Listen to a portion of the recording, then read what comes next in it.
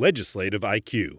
Increase your legislative intelligence with Florida's policy, budget, and campaign monitoring service. Subscribe today at legislativeiq.com.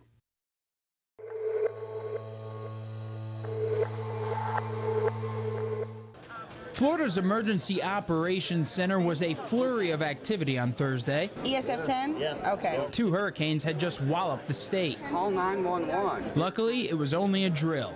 Hurricane season doesn't start until June 1st, but with one named storm already in 2015, Director Bryan Koon says Florida remains at the ready. The early season storms are no indicator that it's going to be an above average or below average season. In fact, some of the forecasts indicate that it may be a slightly less than average season. But the message to Floridians is it doesn't really matter how many storms are in the Atlantic this year. It matters if any of those storms impact Florida and impact you. It's been 10 years since the state was hit by a hurricane, but that doesn't mean people should be complacent. Since the last time Florida had a hurricane, millions of new people have moved to the state, and we have it on any given day a couple of million tourists in the state as well. So there are lots of people in Florida who have never experienced a hurricane before. They don't know how bad those situations can be, how long they're going to be without power, how long they're going to be without communications. If Florida gets hit with its first hurricane in a decade, it will be the first year that lawmakers have authorized gun owners who may not have a concealed carry permit to travel with their weapon if they're forced from their homes. Lawmakers say they wanted to make sure Floridians weren't being thrown in jail by just protecting their property. If you put it just underneath your seat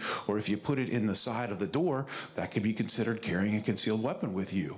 That could be considered a, a third degree felony. The governor signed the bill into law late Thursday. Reporting in Tallahassee, I'm Matt Galka.